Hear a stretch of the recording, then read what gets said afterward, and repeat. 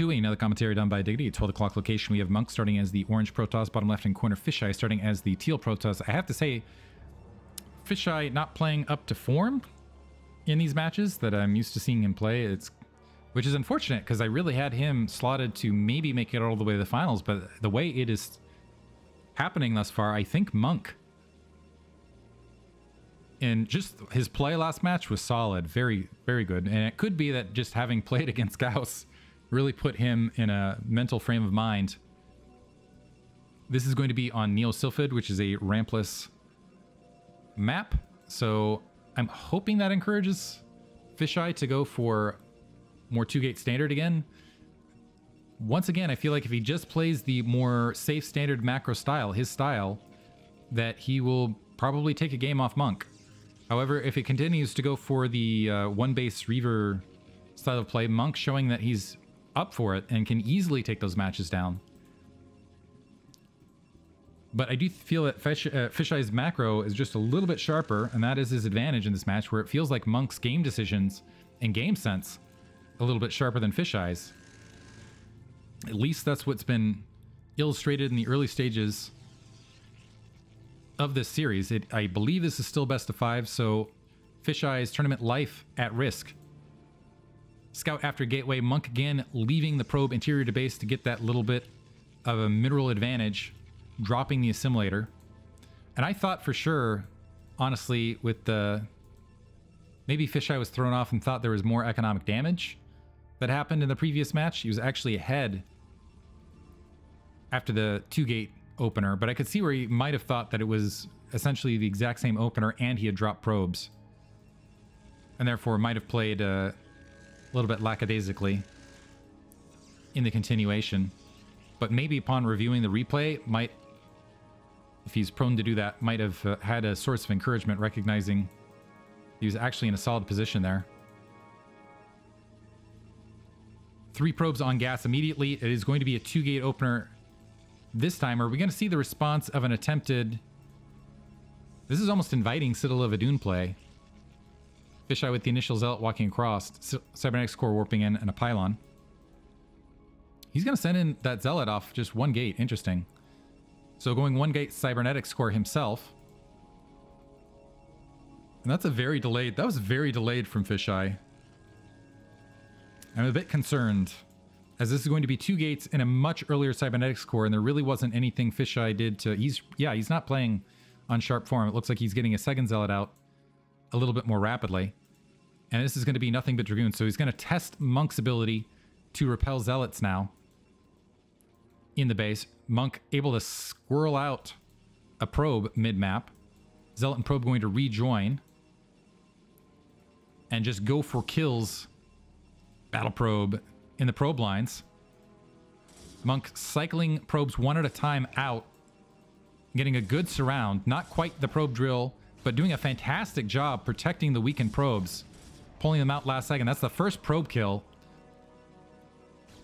Last probe acting like its own battalion right there. Monk down on workers, though, after this opener, not keeping up with that probe construction, but up two Dragoons and his, his Looks like he's going to be behind on range, however. Second gateway just now being dropped from Fischei. Up on workers overall, but I'm a little bit concerned that Monk is once again going to be able to take a much more rapid Nexus. Looks like he's going to skip his own range to preserve minerals to do so, potentially.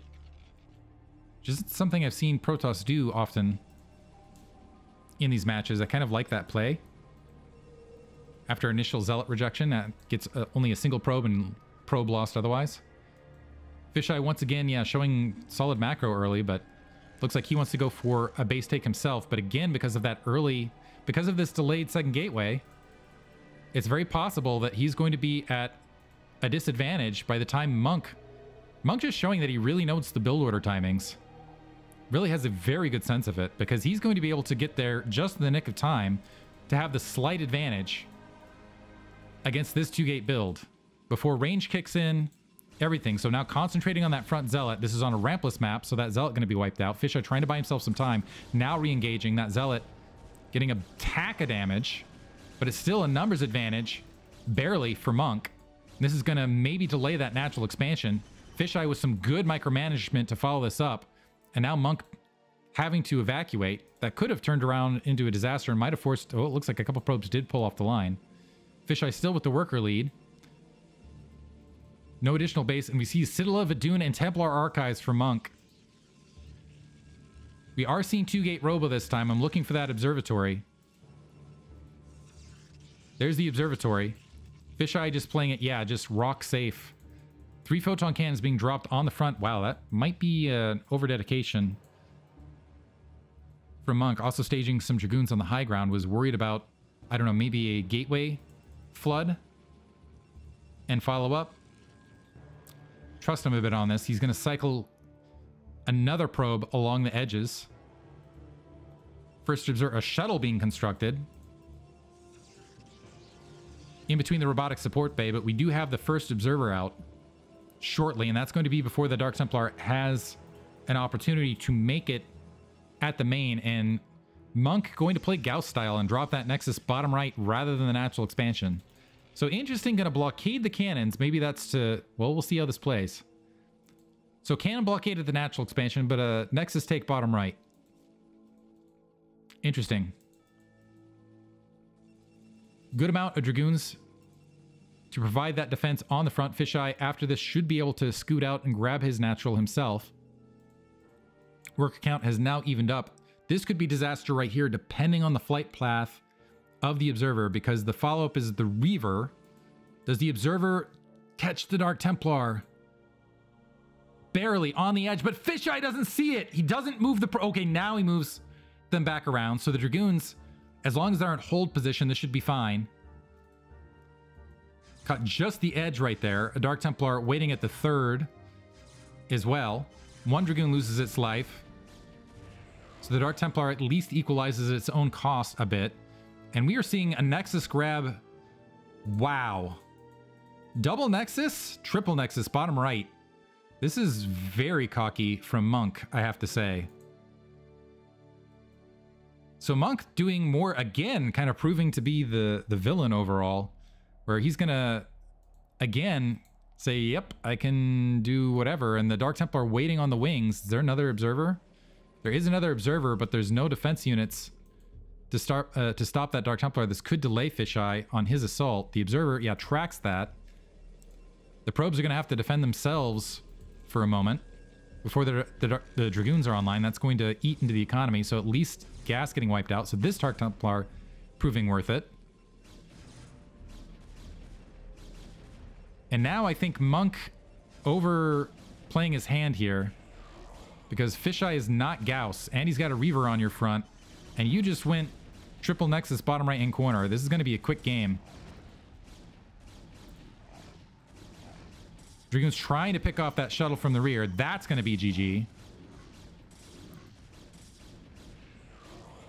Let's see if Monk just tries to do full reset bottom right. He's trying to rapidly build probes in the corner. Yeah, this was a bit of an ego build. But that, and he hasn't GG'd yet either, which is kind of like, are you kidding me? Like, this is game right here. Cancellation. Can just work on the pylons, and this will be defenseless bases.